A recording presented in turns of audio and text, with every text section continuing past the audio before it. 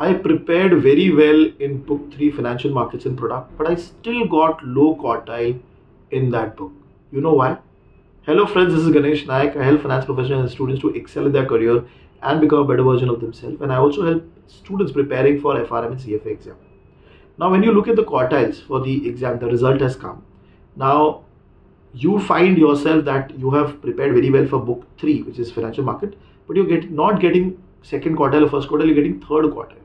Why is this happening? Because most of the students who prepare for FRM level 1, the first book they are comfortable with, the first book they try to capture is the book 3. Okay, and that is why the competition is very high in that book. Out of 30 question, even if you are good and you have solved 20, 20 or say around 19, 20, you might be in the third quartile because there are other people who are doing better than you. So it is slightly difficult to get a good quartile in book 3. If you're getting a good quartile, that means you are you have been actually been very good. You have actually very good understanding in that book.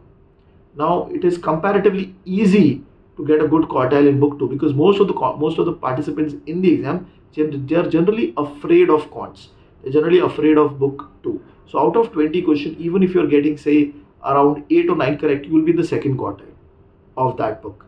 So the structure of the exam has now become in such a way that most of the people they start with book 3 they become very good at book 3 and by the time they reach book 2 and book 4 they lose the, most of them they lose their steam. They don't prepare that book very heavily. So it becomes very easy for you to get a good quartile in book 2 and book 4 but not in book 3 so this is what i feel as been the analysis. So if you like my videos do subscribe to my channel. Share this video with your friends who are preparing for the exam.